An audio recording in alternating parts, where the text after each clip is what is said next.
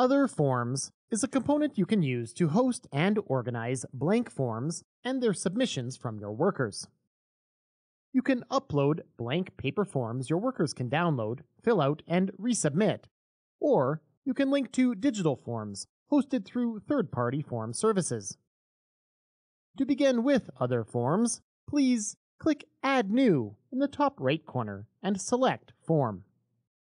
You can then choose to use a template provided by WorkHub or start from scratch with your own form.